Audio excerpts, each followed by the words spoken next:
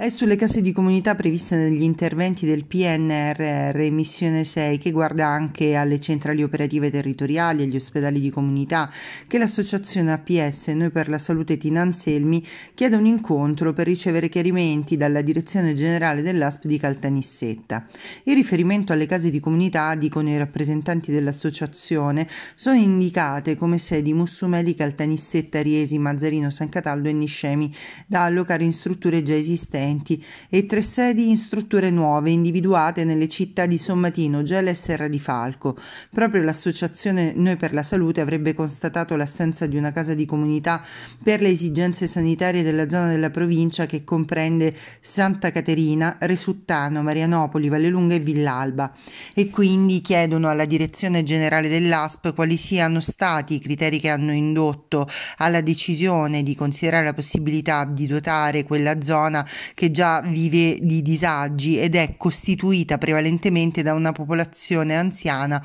affetta per lo più da patologie croniche, sia per mobilità che per dotazione di servizi di una casa di comunità da allocare all'ex ospedale Castelnuovo di Santa Caterina che è di proprietà dell'ASP. Sempre l'associazione non condivide la decisione dell'ASP che prevede tre case di comunità nell'ambito territoriale di Riesi, Mazzarino e Sommatino ed ha proposto il riferimento riferimento alla programmazione degli ospedali di comunità, vista la particolare situazione del territorio anche per i dati epidemiologici della popolazione, che l'ospedale fosse individuato dove mh, vi era all'interno quello dell'ospedale Maria Immacolata Longo di Mussomeli.